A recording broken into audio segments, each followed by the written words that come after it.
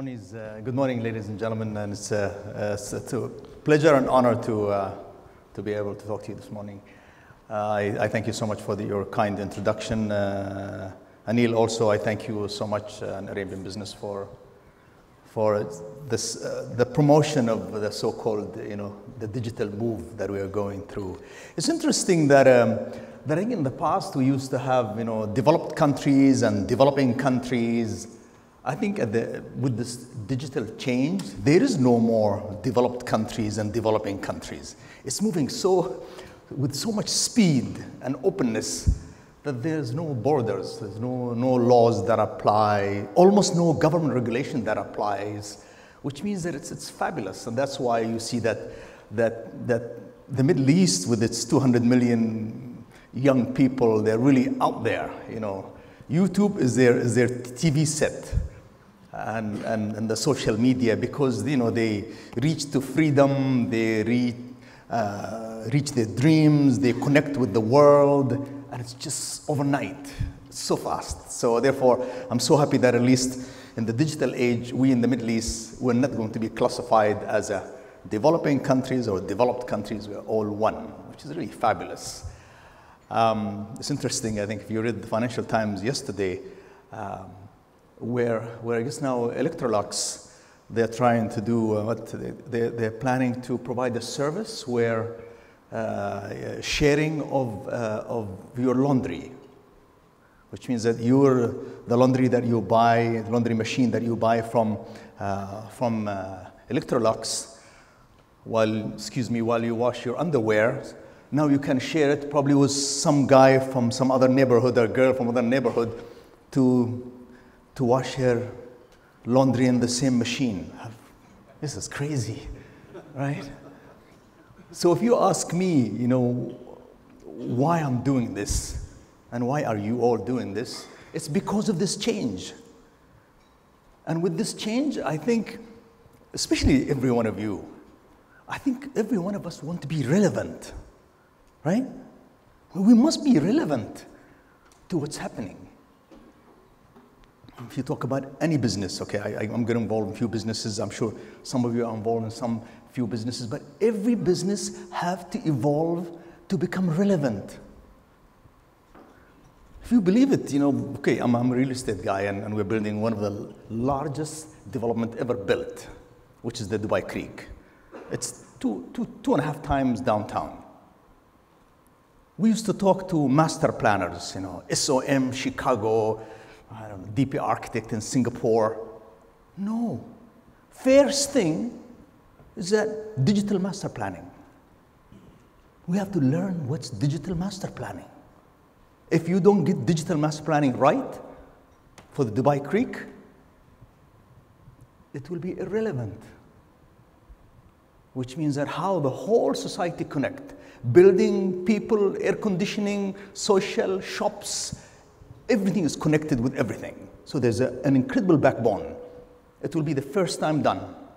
So I think we're reaching agreement with one of the big firms because we want somebody to invest in this. And we're willing to invest, but you know, there's so much learning, somebody got to own this. So even when we design this thing, it's completely different. It's not, it's not about the one bedroom and the two bedroom and the park. That's we all know how to, to deal with. But in seven years' time, when it's open, how relevant is it? And digital, what makes it relevant? But the truth is that I think, I think for me personally, I just see the change because I live with my kids and I, and I see what's happening. And honestly, I don't want them to be better than me.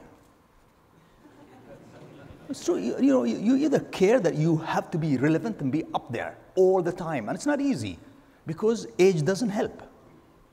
These guys can process information so fast. And they don't have kids to worry about, so I have kids to worry about. you know? But, but it's, it's fun, and, and I really think it's our duty to be relevant. It's our duty to learn. It's our duty. I mean, look, look, your industry. What change have taken place? I am, I'm not sure if we in Emaar, after two years, if 95% of the people are going to be relevant in the company. I'm very serious. So you see that I moved, you know, we, we moved in with Aramex, then we, we've uh, got involved with Americana because we are keen on their logistics system because it's, as I said in the past, it's three times Aramex logistics system. Uh, and then we moved with the 1 billion tech fund and we launched Noon. And, and today we have a very interesting announcement uh, after the speech uh, as well. So if you, if you were to look at, at this, it's, I think it's a process that I think it's our duty also to promote the move. But also, when I started my real estate business, the only business I knew was, to be honest with you, I was just government. I was a government employee. I did a bit of aluminium business and all that. But do we have the ability to learn and move forward? So when I built this tall building, my CV was not good, right? Know, I, I, I told people, I said, you know, my dad is not an engineer from Harvard. I'm not an engineer, I'm a finance guy. And Sheikh Mohammed have not really checked my, my credentials to say, yes, we will allow you to build the tallest structure ever built by man because you have the right records. No. I think, like all of you, we just have passion to learn, passion to move forward. And we have to go and get the best people. And, and that's actually what I'm doing the past one year. I spend more than 70% of my time only on, on, the, on the search. Some will get them right, some will get them wrong. That's, that's okay. But let's, let's jump in. So we would like to be relevant, we'd like to move forward. I think the world is happening right there, right in front of our eyes. We see it every single day. It's happening all the time. So in, in the region, the, the, the real issue is, in, in my um, um, views, social media is flying, WhatsApp is flying, e-commerce is moving forward. We believe in digital, but we have one issue ownership. 350 million people. We don't own anything. It bothers me. It bothers me. Because all of you know more than anybody else is that those people who are going to digitize, they will own data. Those who own data own economy. So I think 350 million people, if I talk about the Arab world, we need to own something, right?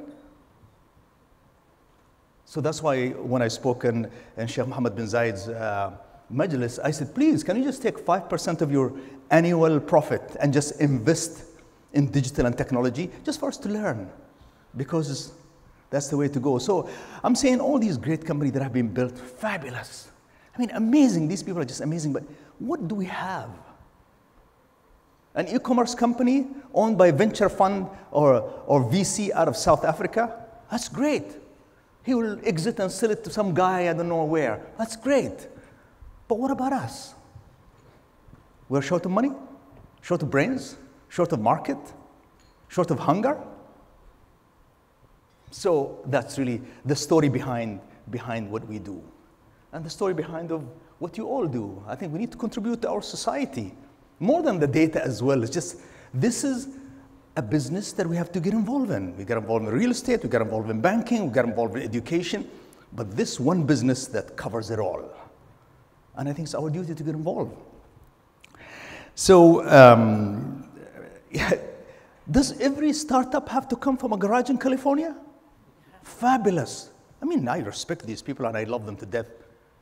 Does every, every funding for any venture have to come out of a, a VC out of the US? These guys have done enough. What about us? Keep in mind that also a lot of our, not a lot, but most of our profit comes with zero tax. So we've got a lot of available funds. So I think maybe I'm wrong, I'm asking these questions, but that's, that's the truth. That's how we feel. That's most of everybody feel in this room and you know, in the region. Is it easy to do? Of course not. You have to get ready to compete. You're starting, you'll be making mistakes, you name it. But it's the same thing. I mean, is it easy to build this, this tall building? You don't know what happened every time there's wind in the city. You don't know what happened, what happened to my heart rate. Seriously, earthquakes. Every year we have a firework on this building for seven minutes. I have no blood in my body because there's so much fire on the building, it's unbelievable. But I'm saying these are things we have to do. We have to try. I'm not going to tell you about the fire stories because they were really scary. There, was, there were a few of them, yes. so ownership is critical, and it's important that we get involved. At the same time, the importance of data. How you behave, what you shop, what jokes you like, you know, what's our social patterns, all of that, all of that, and so much more. I think it's okay, but we just want to be part of this.